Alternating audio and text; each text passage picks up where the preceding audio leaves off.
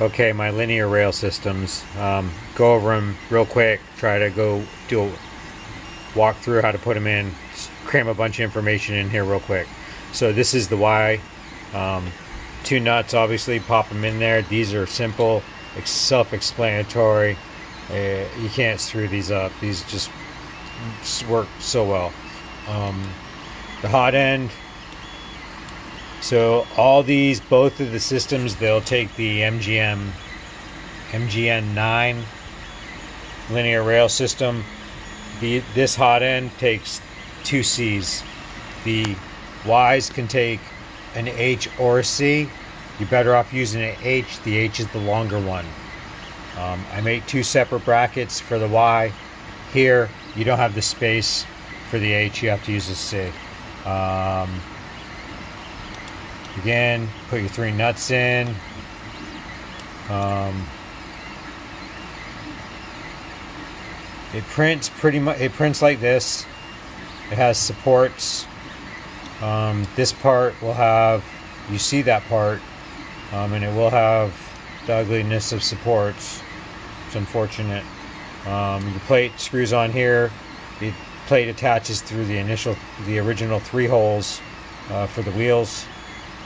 Um, blah blah blah. All right, moving right along. So take this off to mount this system. Take this off.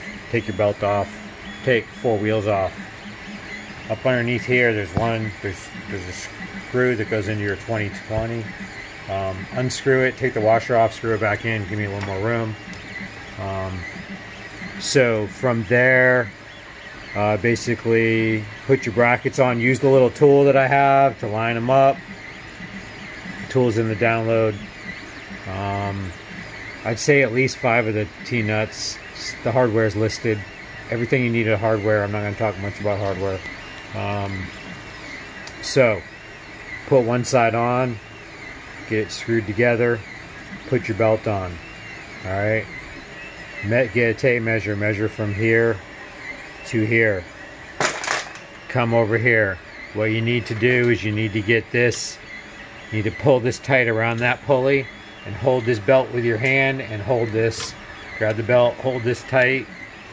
Um, or you don't like just pull it kind of tight as you measure with one hand and then hold your tape measure up and you need to get basically on the same tooth here so your measurement from here to here is the same on both sides then you'd be on the right tooth um, then just try to keep it on that tooth get it back on and uh, get your pulley back in place the uh, this pulley's on my website this is a system I like this little system can't remember the guy's name that made this, but a little bit of a longer screw and you can just tie it right into the rail.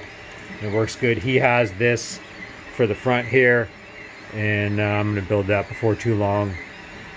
Um, I just thought I would really like, I would sacrifice this being a little bit beefier to have this interlock in top and bottom so I didn't have to have these screws.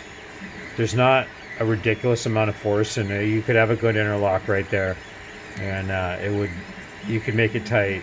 It's tiny printing do it over and over again until you get a nice tight fit and uh, bang. So I might do that. Moving right along.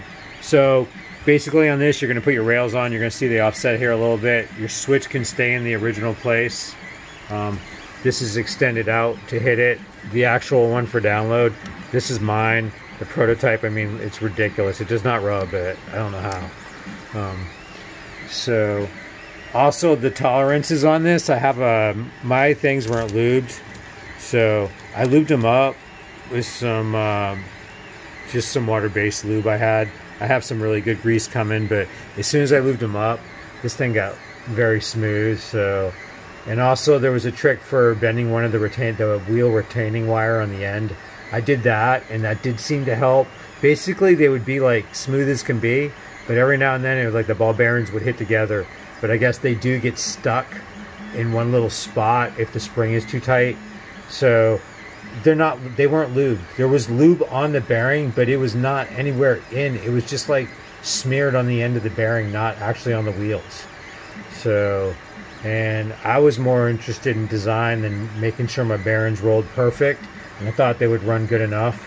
So basically, I just kept working the tolerances on this better and better and better until I got the bearings, the bad bearings, almost to ride perfect. So I mean, yeah, you put good bearings on this, and this thing is, uh, I got, I got a lot of work into this, a lot of time to get this just right, and it is just right. Um, so basically, yeah, put your rails on, use the tool to line them up, um, and then just basically put this on. And these don't have to be cranked down like this is under construction, but these don't have to be super cranked down. And if you do, you could put some stresses and loads. You could also sink the head into the plastic and uh, make it kind of so just kind of tight and uh, let them ride. But I mean, literally, you're not going to have any trouble out of this. The only trouble you're going to have is if you don't lube your bearings up. Probably best thing to do is get the. Uh, I think I paid 10 bucks. There's a link at the Thingiverse page for the lube. That works pretty good. Um, geez. As far as lining this thing up, there isn't. I mean, it lines its it lines itself up, so there is no lining it up. Um, if you have the original bay for the uh, chain system, you'll have to either, yeah, you're pretty much going to need to download it. It's not going to fit in there um, at all. I've already altered that, and it's already available for download, um, which is kind of risky because I didn't actually print it, but it was pretty black and white about what needed to be done. Like right here, I just needed to shrink this up and move the hole. So that's pretty much what I did. So, yeah, probably a little arrogant. Uh, sure to go wrong. Uh, yeah, dude, this this was uh, printing pretty skookum, even though my wheels, the bearings weren't um, that good. It was heavy. When I went and when I did lube it up, it, it got so much lighter. So it was printing with a very heavy top. Um, all right. So like I said, most of the information is at Thingiverse. Uh, can't really think of anything else to add other than um, enjoy. So